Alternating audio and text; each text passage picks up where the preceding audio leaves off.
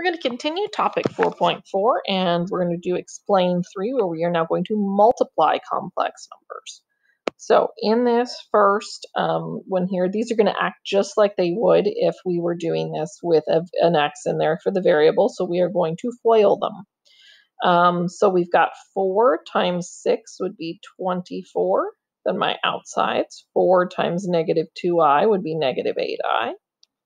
And then we have 9 times 6, which would be 54i. And then 9i times negative 2i would be negative 18i squared. Now I'm going to combine like terms. So I know that I'm combining together negative 8i and positive 54i, which would be positive 46i. Now there's a little bit of a catch here. We know that that, neg that i squared is the same as negative 1. So I take a shortcut here. I know that whenever I see i squared, if it's negative 1, it's always going to swap the sign on this term. So really, this is going to be better known as positive 18. So I'm just going to, when I see the i squared, I'm going to flip flip the sign. So 24 plus 18, when I combine these together, would be 42 plus 46i. I'm going to take a slightly different short. I'm going to take that shortcut with B. Unfortunately, B did not get typed out. I'm sorry for that. So go ahead and make sure you've written B in there. And we're going to FOIL it. So 3, negative 3 times 7 is negative 21. Negative 3 times 4i would be negative 12i. 12i times 7 is positive 84i. And then 12i times 4 would be positive 48i squared. And when I see i squared, I know that this term will be better known as negative 48 because the i squared represents negative 1. Now I've got it down to two lines where I can just combine like terms in this line. So negative 21 and negative 48 is negative 69. And 12, negative 12i and positive 84i is positive 72i.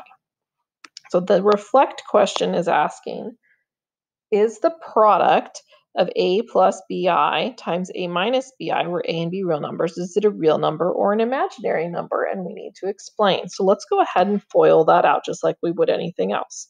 So a times a is a squared. a times bi would be negative abi. bi times a would be positive abi and bi times negative bi would be negative b squared i squared.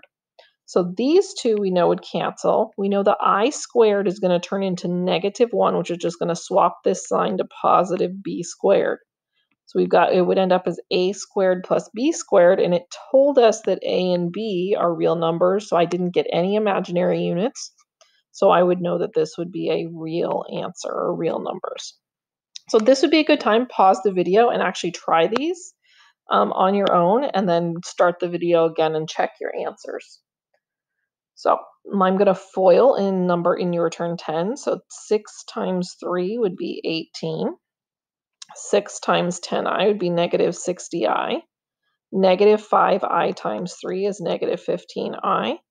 And negative 5i times negative 10i would be 50i squared, which is better known as negative 50. We're going to combine like terms. So I have 18 minus 50 is going to be negative 32. And I have negative 60i and negative 15i is going to be negative 75i. In number 11, we're going to FOIL again. So 8 times 11 is 88 and 8 times i is 8i. And 15i times 11 is 165i. And then 15i times i is positive 15i squared, which is going to be better known as negative 15.